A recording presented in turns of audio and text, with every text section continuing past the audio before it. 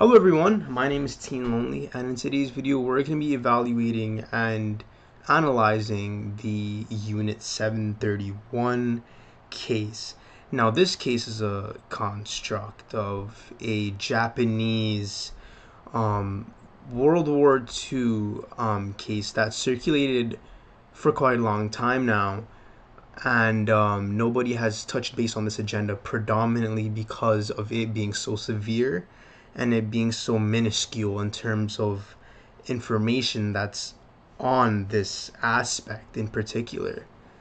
Now, looking at a broader extrapolated aspect, this case in particular is so severe that not only is it near impossible to get critical information on it without any flaws, but it's just difficult in the aspect of everyone else talking about it and everyone else promoting the wrong agendas, the wrong information, and that's completely not what I'm not doing in today's video.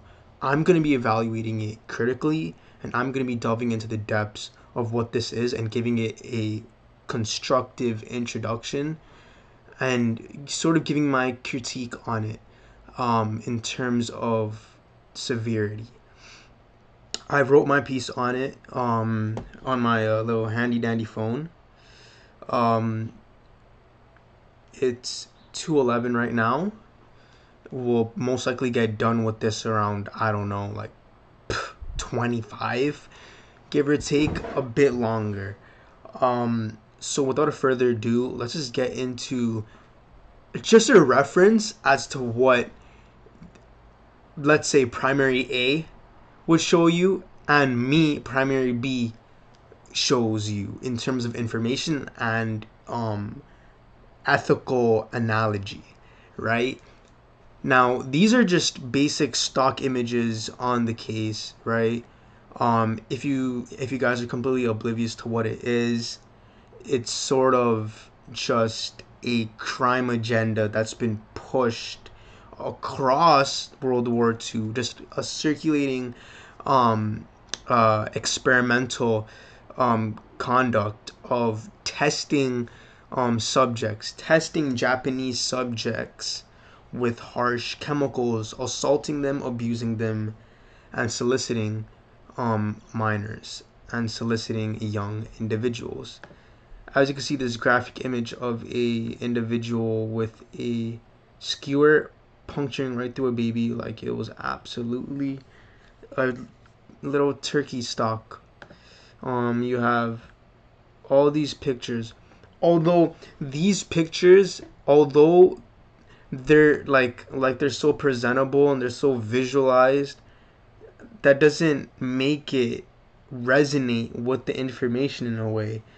Um, I did I did see an instant of this book, but this book doesn't sort of cover the entirety of it. It's a good book, don't get me wrong, but it doesn't cover the severe aspects of it and the entirety of it. It sort of just scrapes the surface of what it is.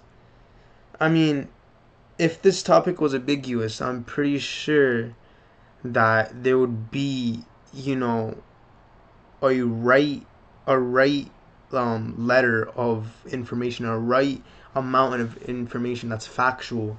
That's not the case. When there's a min, when there's minuscule amount of information out there, fuck, I dropped my phone. When there's small amounts of information out there, everyone's gonna try to fabricate it because they're gonna want to push that same agenda as much as they can because they want the attention, right? That's not the case. Shout out to Plague Moth before I start. Shout out to Plague Moth for for sort of inspiring this video. The majority of my videos, as you all know, are inspired by Plague Moth, and I just I just I just have a a a level of respect towards him, primarily because he's just such a good individual in general. He's just so like I just love him because he's so humble. He's so like biased on terms of his like topics and whatnot, his stances and his moral stances are just everything he does as a human being in general, just generalizing his just scopes and perspectives, it's just great. He, he's just a great guy, and he sort of constructed my channel in a way. So huge thank you to um, Plague Moth, and um, this video isn't sponsored. Um, this video is not going to get monetized because there's going to be graphic images being presented in this video today. So um, viewer discretion is advised. Um, moving on. So over here, this is not my presentation. This is just a website that I'm going to refer to. I'm going to get to mine um, in a moment. So just pulling it up right now. This is this is my piece on it, right? It's descriptive, it's analytic, it's it's it's just delving into the depths. Um, I got the majority of my information from, um, I'd say a secondary source, something you wouldn't find on, let's say, I don't know, DuckDuckGo or Google. This information, if you want the entirety of it, if you want the severe aspects of this topic, you're going to have to most likely find a third party or secondary source that can provide that information in particular and in specific to what you're looking for because in this substantial rate of people constantly writing these articles look there's there's two over here for reference and the two only only you know brush off the the little skimmed aspect or the skimmed part of what it really is. That's not the case. Moving on. Inside unit 731 japanese disturbing human experiments program during world war ii just to reiterate, this article in particular doesn't cover everything that I'm going to be covering. These six experiments by Unit 731 rank among some of the most horrifying war crimes ever committed. I mean, besides the Holocaust, yes. Um, is it is it is it severe? Is it is it gruesome? Is it is it inhumane? Yes, it checks off all the boxes. It checks everything, all of the above. It's pretty bad um, compared to other cases. Can't speak on that yet. I'm gonna have to evaluate that with you all before we before we get to the outcome, before we get to the answer. Based off of my my research and my information grasping, it's pretty bad. Now, compared to other cases, this is one of the worst if I were to give it a level of severity just based off of my research that I will be presenting, nine. A solid nine. 10 being taking 93% of the population. That's a 10 for me, right? That's a, that, that's a 10 for me. That's a 10 is dumping hydrochloric acid all over Japan, literally destroying everybody. Leaving the the nuclear bomb, the uh, Kawasaki um, nuclear warfare in which has happened at that time frame. Although um, we're not going to be getting into that. I'm just saying as reference, that's a 10 and this is a 9. You can see in terms of severity where they touch, where they reach, they're pretty similar. Unit 731, Personal Conduct, a bacteriological trial upon test subjects in Nongan, I'm sorry, to, if I'm pronouncing that wrong, county of northeast China's Jilin province, November 1940s. World War II ended what 1945. I don't want to say something dumb, but 1945 is in uh, is when World War II has come to a end. Now, a bacteriological trial is a is a alteration where these individuals conduct these experiments on these individuals that may be suffering from the deficits or psychological alterations in which allow them to sort of obligate to being conducted these specific acts. Now, when these kids, or I shouldn't label them as kids, but when these families and when these communities are sort of um, forced into these camps, forced into these experimental um, agendas, right? What it does is that it sort of causes them to exhibit the same thing. What I mean by that is that everyone's sort of indoctrinated by what's going on. Everyone is in this norm, norm where they're following the same thing. Everyone's listening to the same person. They're they're enclosed in one thing, and they're being forced to to be a test subject. I I just can't wrap my head around how fuck that is. Imagine imagine your family at that time being like you gotta pack up we're going to an experimental camp we have nothing to do with it because they're they're gonna kill us that's literally what it is all these families were forced and obligated to conduct these experiments on themselves for results for their benefit, for their scientific biological benefits, which is just completely fucked up, in my opinion. Now, we all think it's fucked up, right?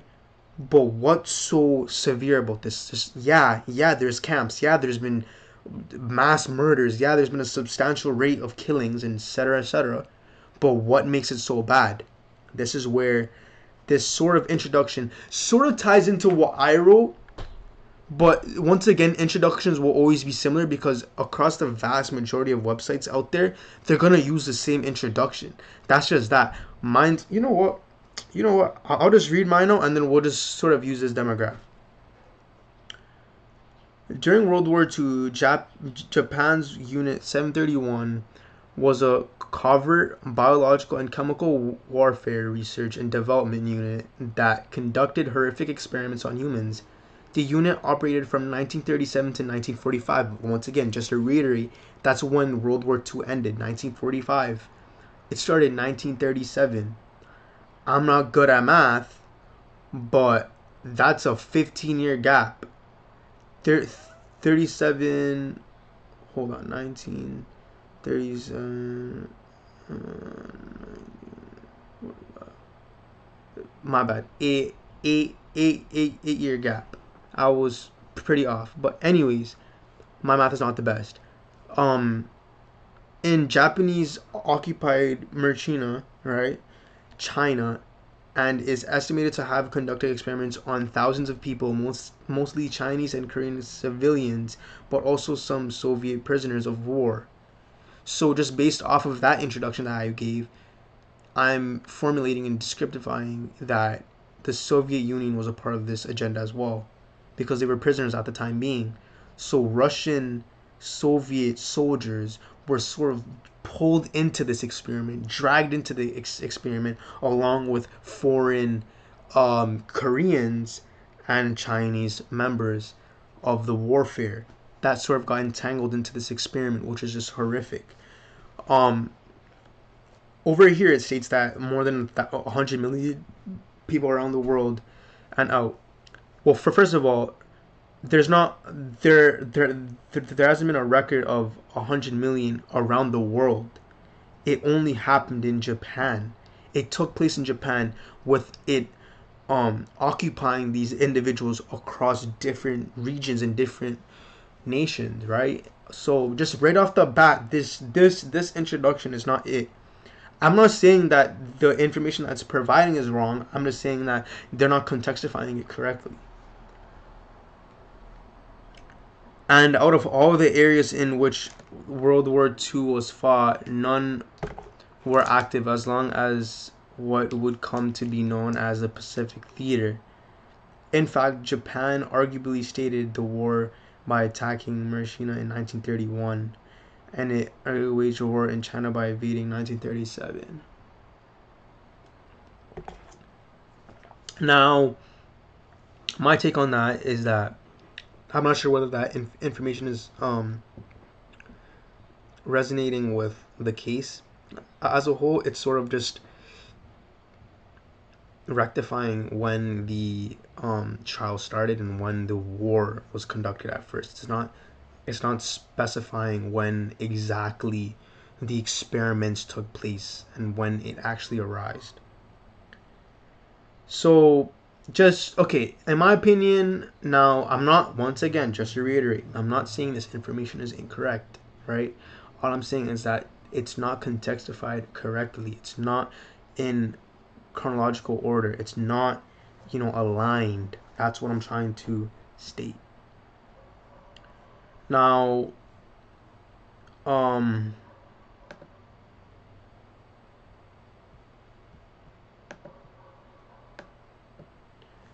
over here we have a image of an individual suffering. Now,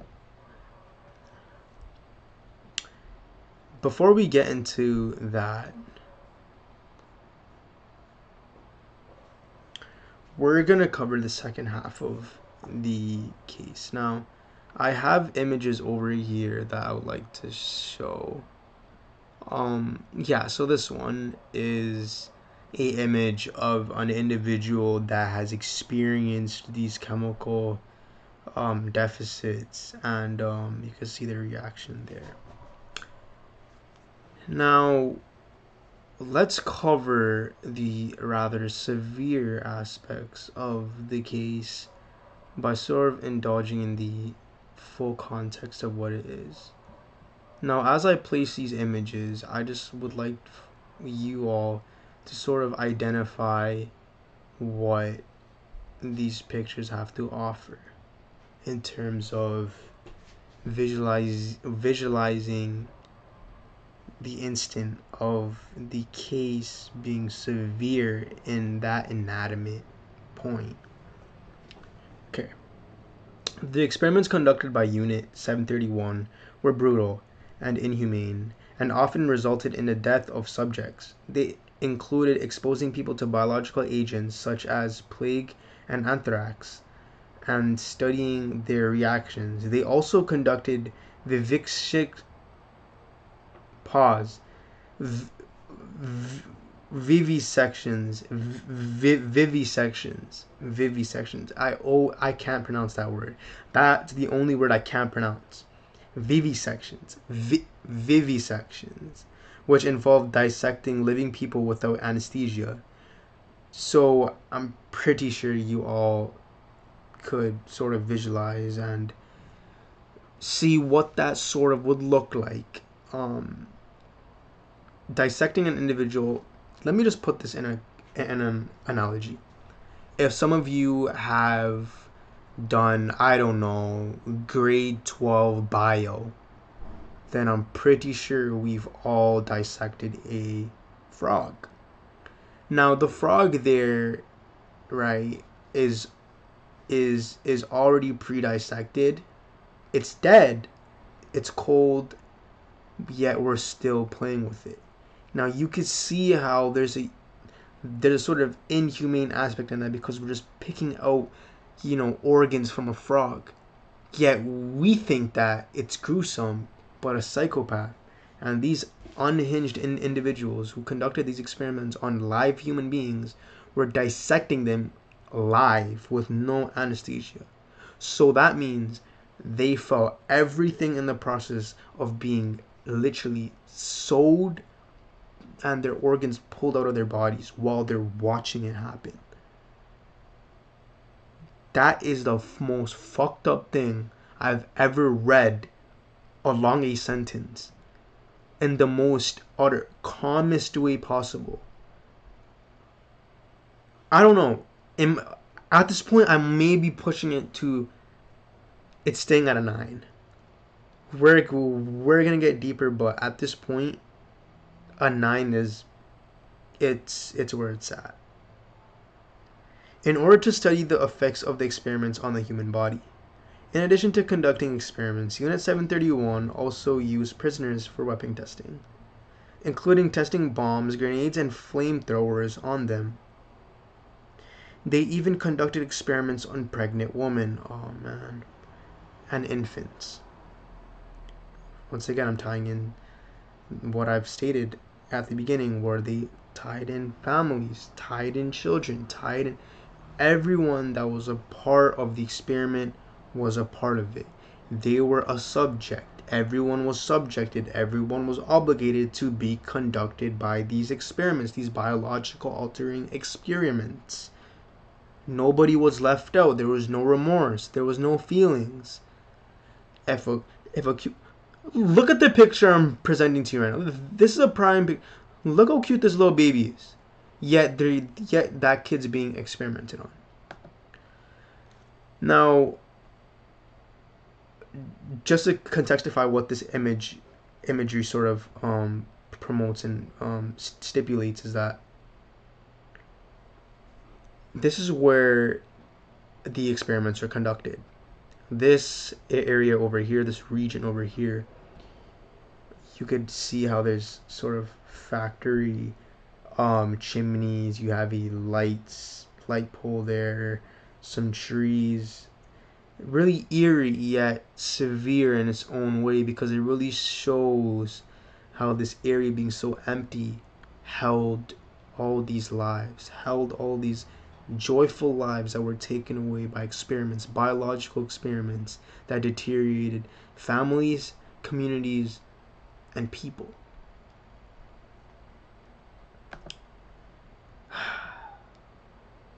Moving on. In addition to conducting experiments, Unit 731 also used prisoners for weapon testing, including testing bombs, grenades, and flamethrowers on them. They, they even conducted experiments on pregnant women and infants, often resulting in the death of the mother and child. The crimes committed by Unit 731 were kept secret for many years. As the Japanese government denied the existence of the unit and its activities, it was only after World War II that the atrocities committed atrocities, sorry, committed by Unit 731. They were revealed in the agenda of primarily um, being thorough through the testimonies of former unit members and victims.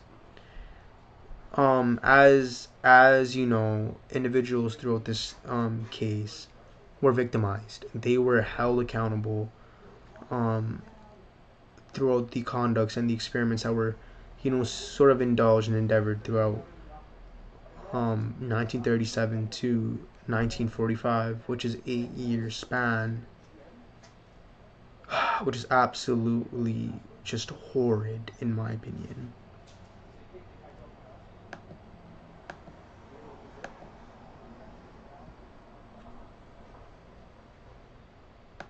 Okay.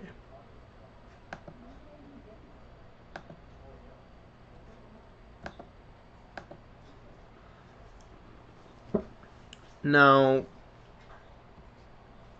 this image over here, I like this Im image a lot because what it what it's showing is that it shows the individuals in their in their um, hazmat suits conducting that experiment on that individual on the flatbed right there. Now, these have been recorded visually but I'm not sure whether there's been graphical videos. There's been pictures. I have pictures, graphical pictures of this case in particular, although there's not videos of them conducting these things. Although, smash 200 likes. You know what? Smash two, 200 likes and we will find the video. We'll, I'll make a part two on this video. I'll, I'll make a part two on this video and it will sort of contextify the visual aspect of the entirety of this case. Although skimming just the top really gives us a um, understanding, a perspicacious insight of what it is completely and utterly. Um, so moving on. So, well, what is the legacy of Unit 731? Like, what does it be, like hold? Why is everyone talking about it in the first place? Unit 731 is one of the horror and tragedy the victims and their families suffered unimaginable.